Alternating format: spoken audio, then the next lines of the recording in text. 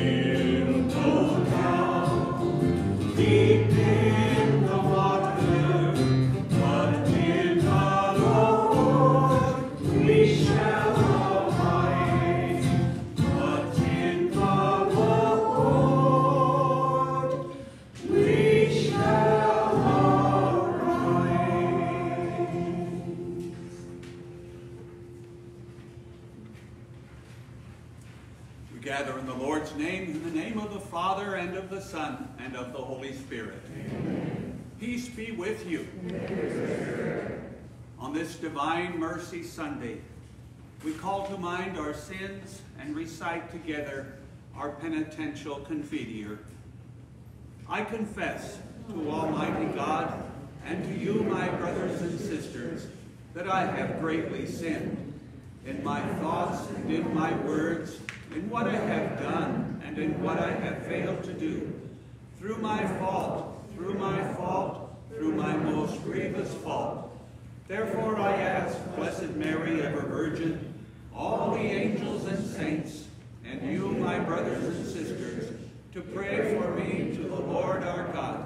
May Almighty God have mercy on us, forgive us our sins, and bring us to everlasting life. Amen.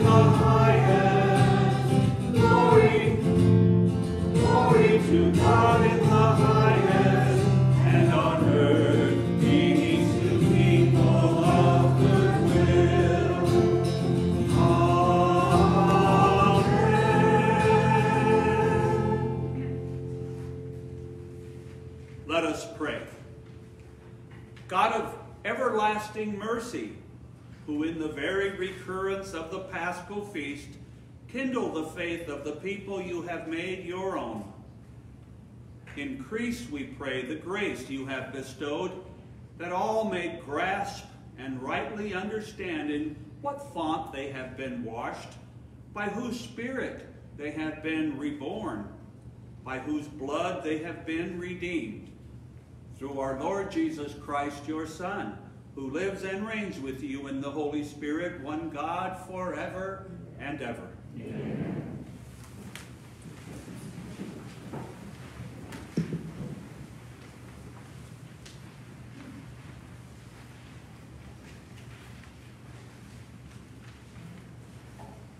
A reading from the Acts of the Apostles.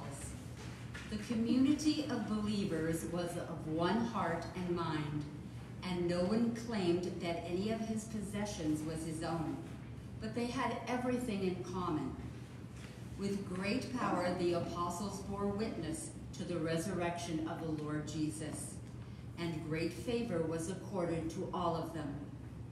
There was no needy person among them, for those who owned property or houses would sell them, bring the proceeds of the sale, and put them at the feet of the apostles. And when they were distributed to each according to his need.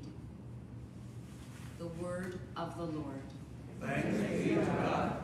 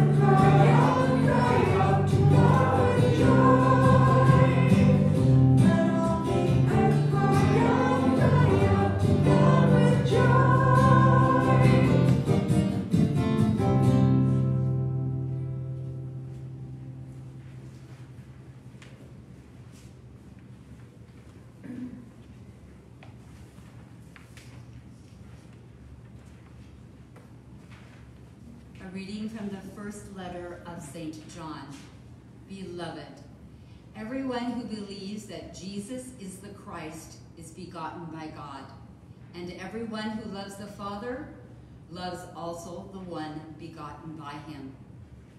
In this way, we know that we are children of God when we love God and obey his commandments.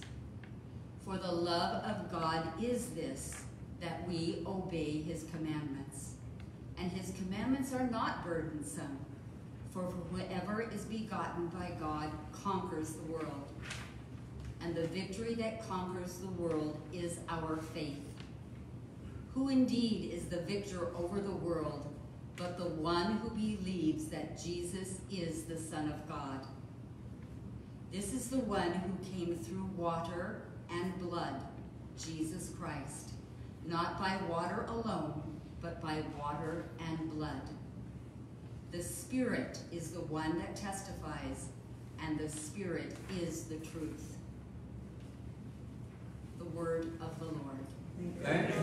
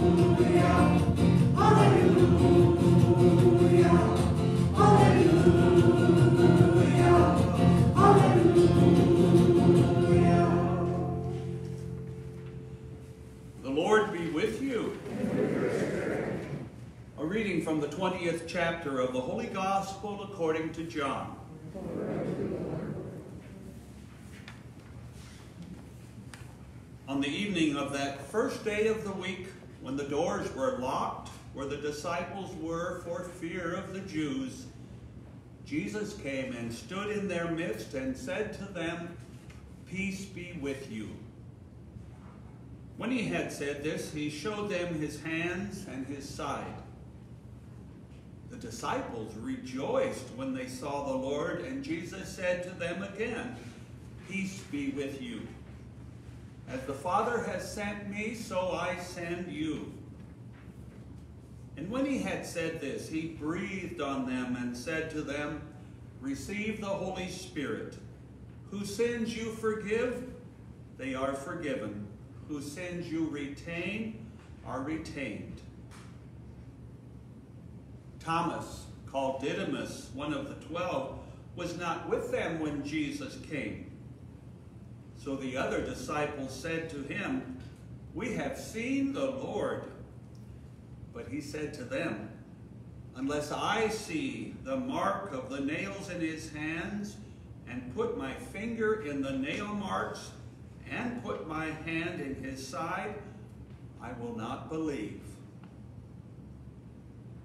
Now, a week later, his disciples were again inside, and Thomas was with them. Jesus came, although the doors were locked, and stood in their midst and said, Peace be with you. Then he said to Thomas, Put your finger here and see my hands, and bring your hand and put it into my side, and do not be unbelieving, but believe. Thomas answered and said to him, My Lord and my God. Jesus said to him, Have you come to believe because you have seen me? Blessed are those who have not seen and have believed. Now Jesus did many other signs in the presence of his disciples that are not written in this book, but these are written that you may come to believe that Jesus is the Christ, the Son of God, and that through this belief you may have life in his name. The Gospel of the Lord.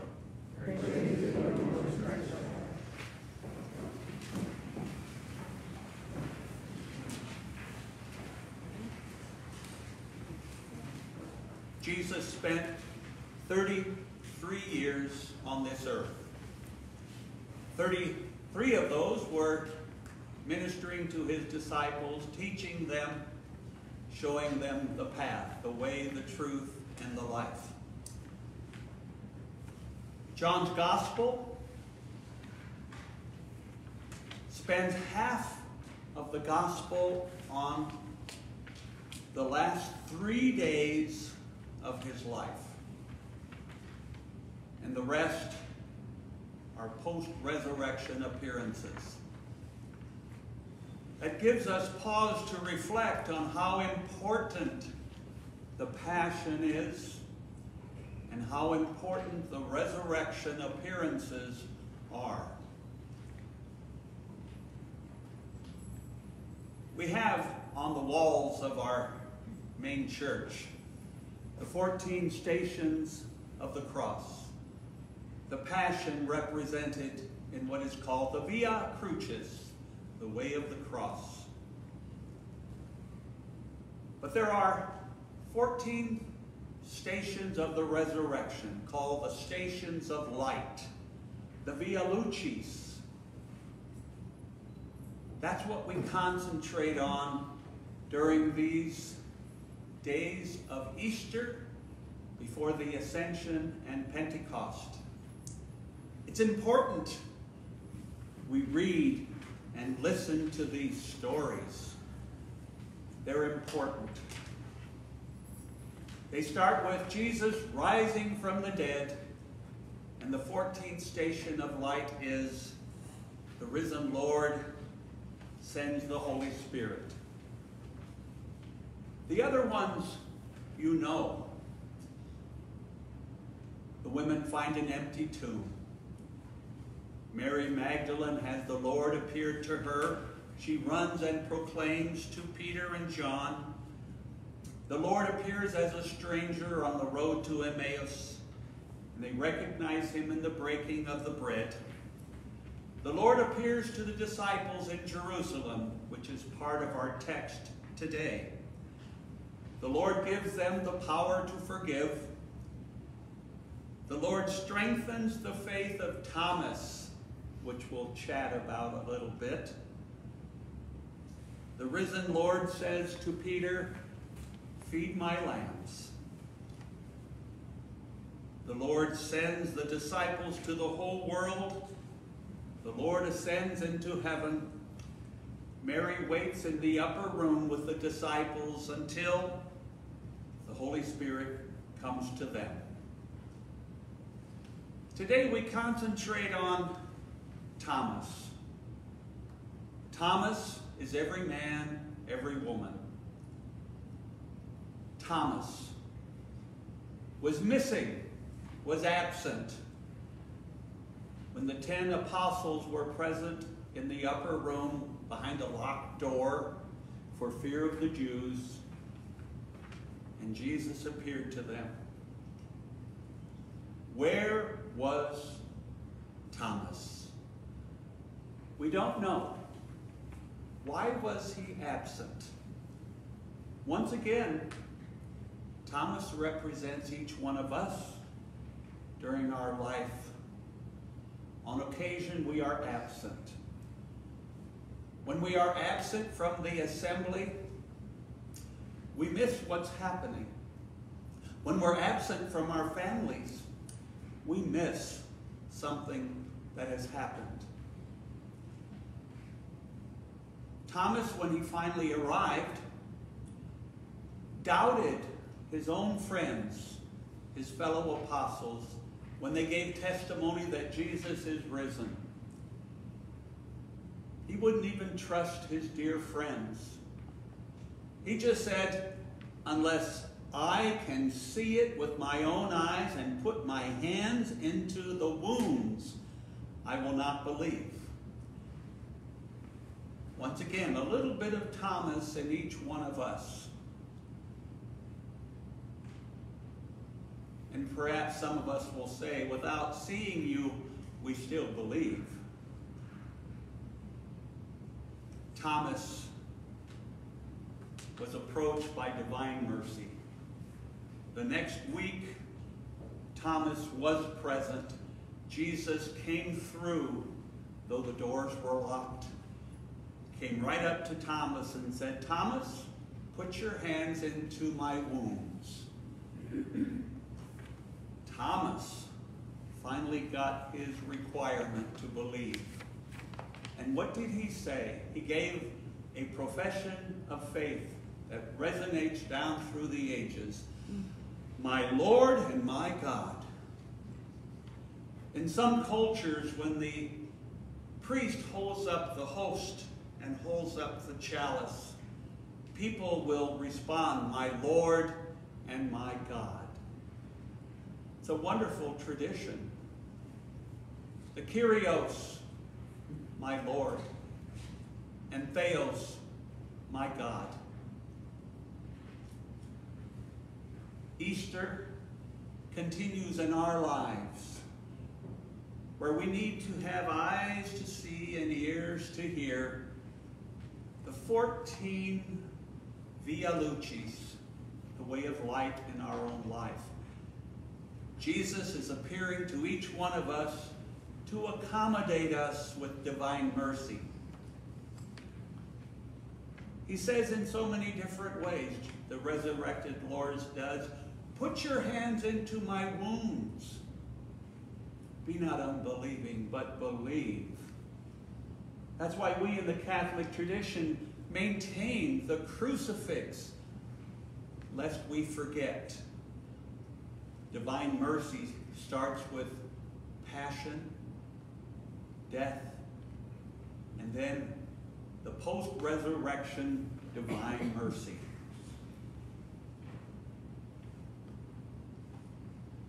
I wish to share a story about a four-year-old. This family had been a neighbor to an elderly couple. The elderly man had lost his wife. He was in terrible grief. The little boy, four years old, saw him and heard him weeping on the front porch. Before the mother could catch him, he went into the man's yard, went up onto the porch, and sat in his lap. And then when he came home, the mother said, Well, what did you say to him?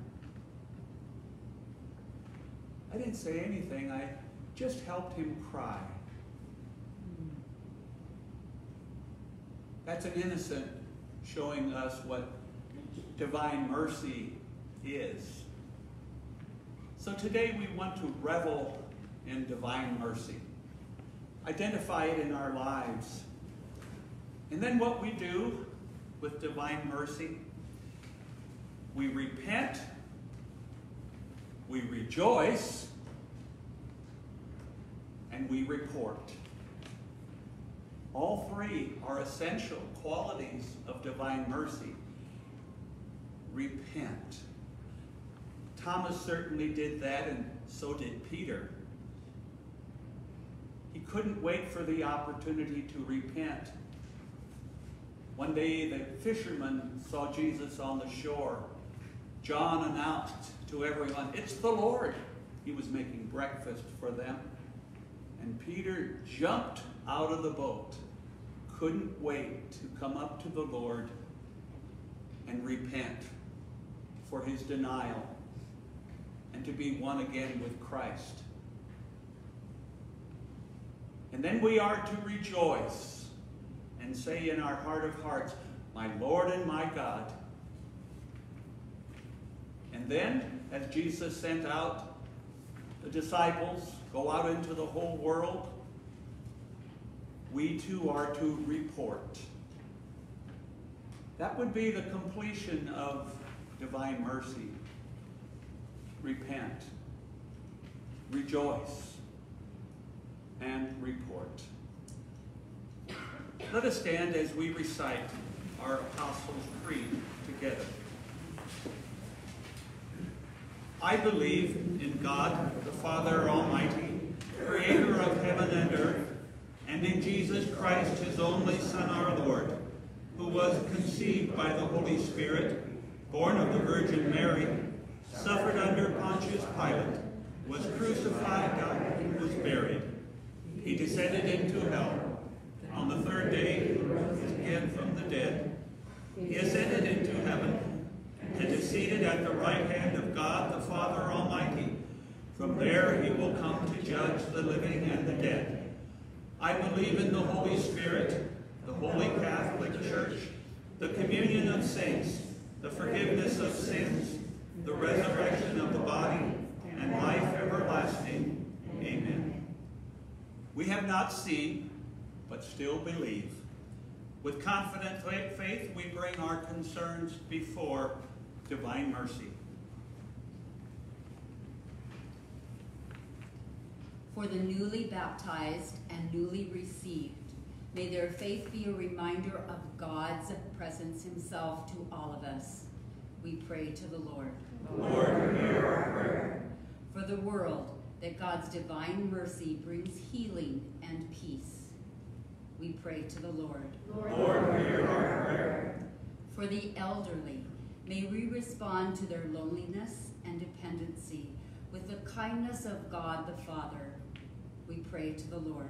Lord, hear our prayer. For married couples who model love that is committed, steadfast, and true, we pray to the Lord. Lord, hear our prayer. For a spirit of generosity that flows from this community to share our goods with those who have less, share our compassion with those who suffer, and share our wisdom with those who wish to learn. We pray to the Lord. Lord, hear our prayer.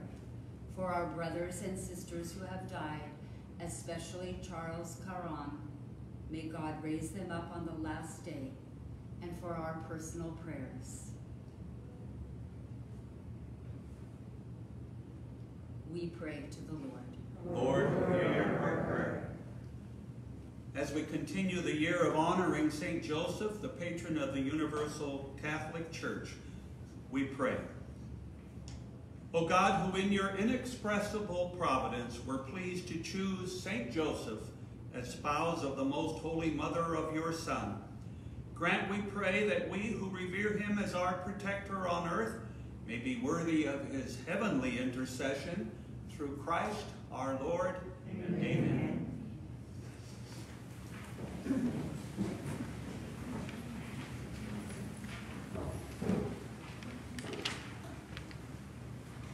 Blessed are you, Lord God of all creation, for through your goodness we have this bread to offer, which earth has given and human hands have made.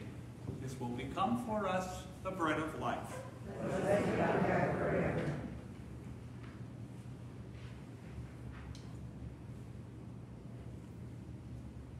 Through this mystery of water and wine, may we come to share in the divinity of Christ, who humbled himself to share in our humanity. Blessed are you, Lord God of all creation, for through your goodness we have this wine to offer, fruit of the vine and work of human hands. This will become our spiritual drink. Lord, wash away my iniquity, cleanse me of my sin.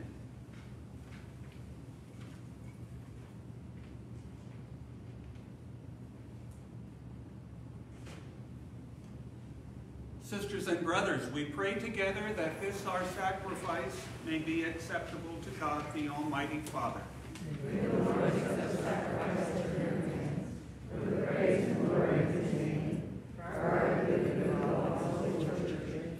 Accept, O Lord, we pray, the oblations of your people and of those you have brought to new birth, that renewed by confession of your name and by baptism, they may attain unending happiness through Christ our Lord. Amen. The Lord be with you. Lift up your hearts.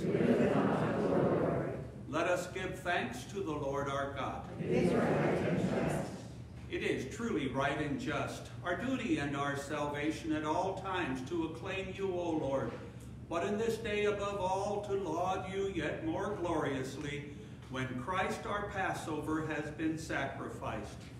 For he is the true Lamb who has taken away the sins of the world. By dying he has destroyed our death, and by rising restored our life. Therefore, overcome with paschal joy, every land, every people exults in your praise, and even the heavenly powers with the angelic host sing together the unending hymn of your glory as they acclaim. Holy,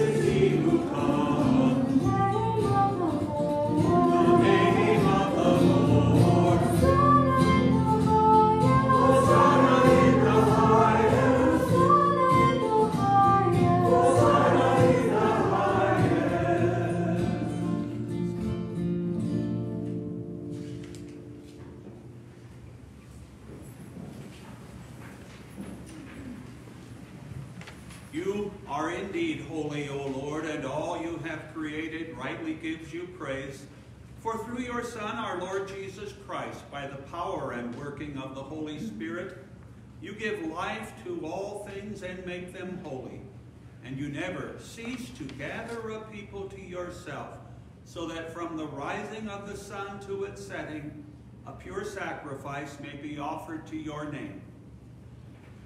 Therefore, O Lord, we humbly implore you by the same Spirit, graciously make holy these gifts we have brought to you for consecration, that they may become the body and blood of your Son, our Lord Jesus Christ, at whose command we celebrate these mysteries.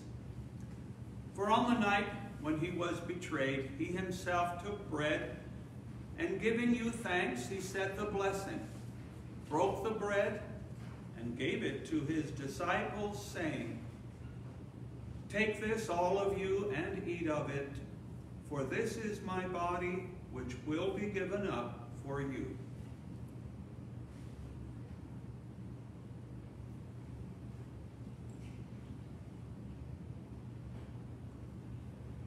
In a similar way, when supper was ended, he took the chalice, and giving you thanks, he said the blessing, and gave the chalice to his disciples, saying, Take this, all of you, and drink from it, for this is the chalice of my blood, the blood of the new and eternal covenant, which will be poured out for you and for many for the forgiveness of sins.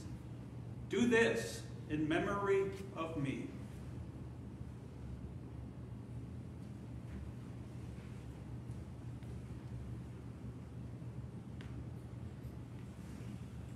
The mystery of faith.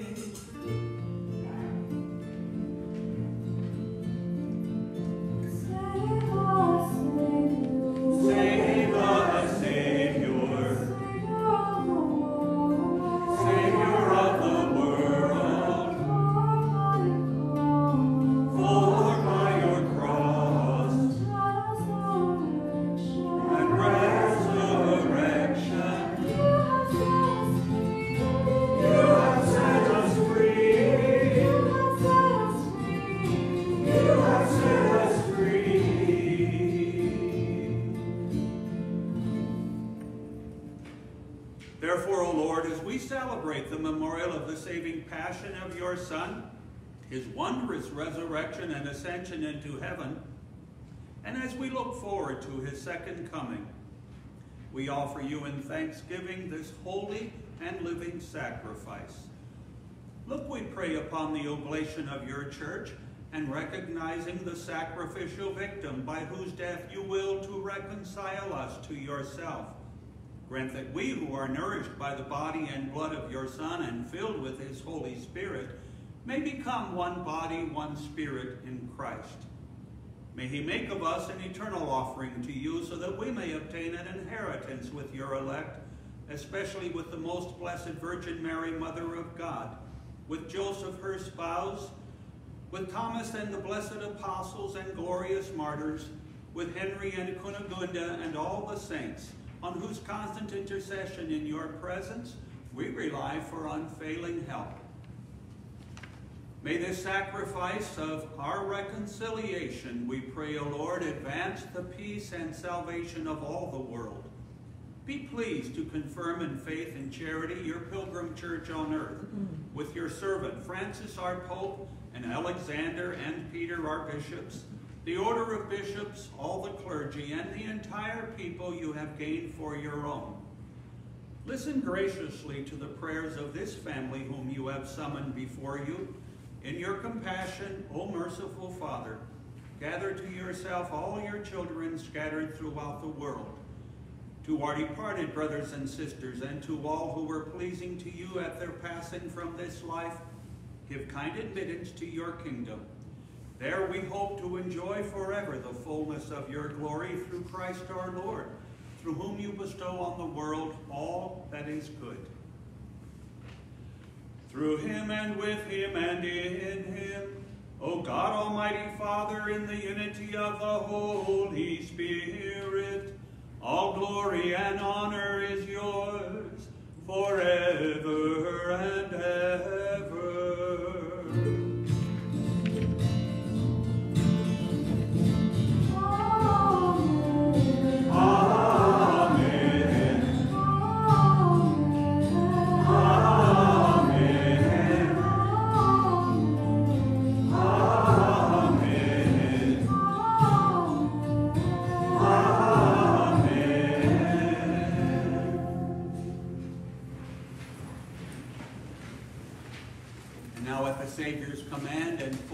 Divine teaching, we dare to say, Our Father, who art in heaven, hallowed be thy name. Thy kingdom come, thy will be done, on earth as it is in heaven. Give us this day our daily bread, and forgive us our trespasses, as we forgive those who trespass against us. And lead us not into temptation, but deliver us from evil. Us, Lord, we pray, from every evil. Graciously grant peace in our days, that by the help of your mercy we may be always free from sin and safe from all distress, as we await the blessed hope and the coming of our Savior, Jesus Christ. For the kingdom, the power, and the glory are yours, now and forever. Lord Jesus Christ, who said to your apostles, Peace I leave you, my peace I give you. Look not on our sins, but on the faith of your church, and graciously grant her peace and unity in accordance with your will, who live and reign forever and ever. Amen. May the peace of the Lord be with you all. Let us share a sign of peace.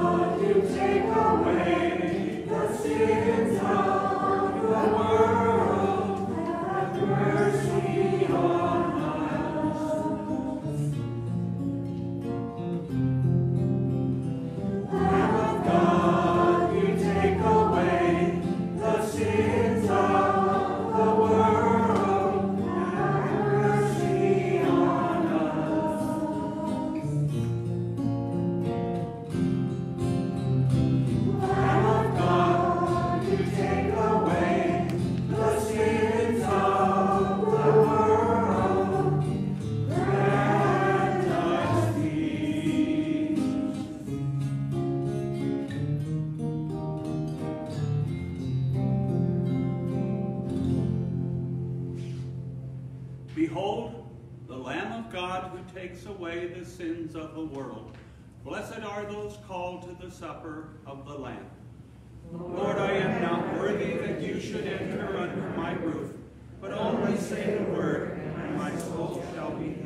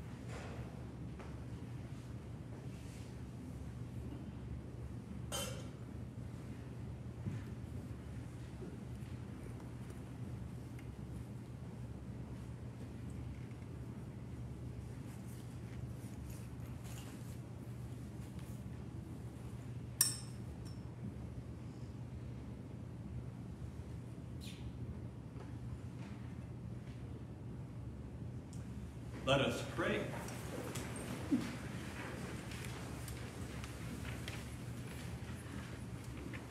Grant, we pray, Almighty God, that our reception of this paschal sacrament may have a continuing effect in our minds and hearts through Christ our Lord. Amen. Several brief announcements. Uh, first of all, the Oregon State Health Authority has moved us to a high risk in Multnomah County, uh, which was supposed to be 25% capacity.